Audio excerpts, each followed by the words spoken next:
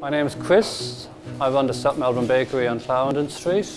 We're a small artisan bakery specialising in sourdough breads, French pastries and sandwiches. The South Melbourne Bakery for me it's a passion. We put so much effort effort into them starting uh, you know at, at 9 in the, 9 at 9 p.m. at night time and it rolls the whole way through until we get the product the next day at 7 when we open the shop.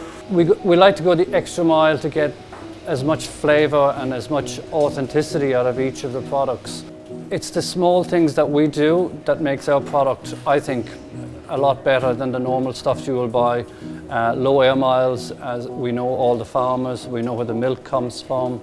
Uh, the flour is all Australian. It's 100% circle. We're lucky to be at the end of that circle. The South Melbourne Bakery lost 70% of its income in the first week of the shutdowns. Um, we lost all our wholesale accounts.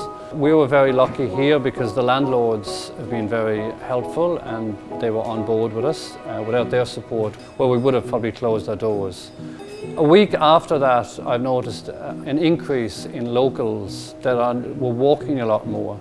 Lucky that the locals have really come on board in the past few weeks uh, and months now. Just the support has been overwhelming. I think this is the perfect opportunity to get, to get Australia, to get Melbourne, to get South Melbourne, to get Clarendon Street back on track and complete that circle of supporting, supporting each other.